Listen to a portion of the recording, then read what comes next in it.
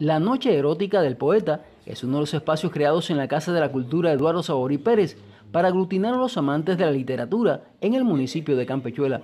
En su más reciente edición, abordó el tema del desnudo artístico a través de la figura de Friné, una cortesana griega a quien se le atribuye el hecho de ser la primera mujer en mostrar su cuerpo para fomentar la creación artística.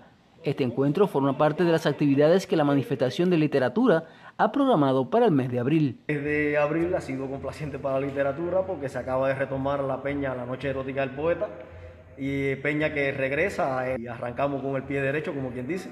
Y también en este mes tenemos el, concurso Tras la de Cervantes, su 21 edición, eh, concurso que vence su plazo de admisión el día 15 y premia el día 23. Anualmente, la manifestación de literatura desarrolla unos 35 espacios concebidos para públicos de los diferentes grupos etarios y se convocan a tres eventos municipales.